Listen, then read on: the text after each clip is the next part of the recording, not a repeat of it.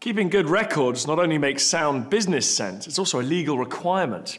So it's well worth getting this right from the outset. When it comes to completing an accurate tax return at the end of the year, you'll certainly find it a lot easier if you've kept all of your records in order as you've gone along.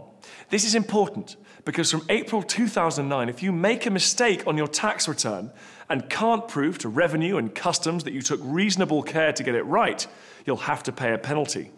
The trick is to get a proper system in place right from the outset and update it on a regular basis.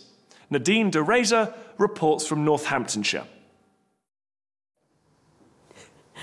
Electric Cabaret are performers who know exactly how to bring a theatrical fantasy to life.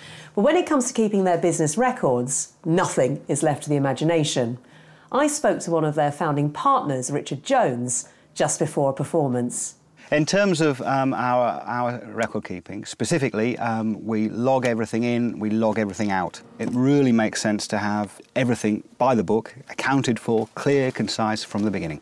We've got a good accountant. He prefers to have our books in good order and hopefully he charges us less in accordance with um, being more uh, organised. It's also, um, I like to know what's happening with the business and what's being spent, so it makes it easier for me to um, to uh, account for everything.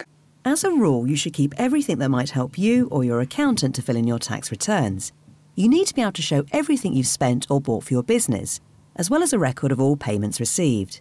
Keeping all your bank statements and any building society books is also vital, including your own personal ones if you don't have a separate business account, so you can prove what you spent on the business and what was personal spend. If you're running your business from home, uh, it's uh, very important to keep all utility bills so you can work out what percentage is your uh, legitimate business expense so you can claim it back.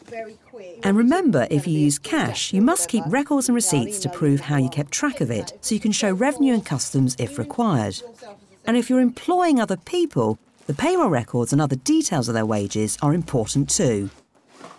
If a document started life on paper, such as bank statements or dividend vouchers, it's really important to keep hold of the original.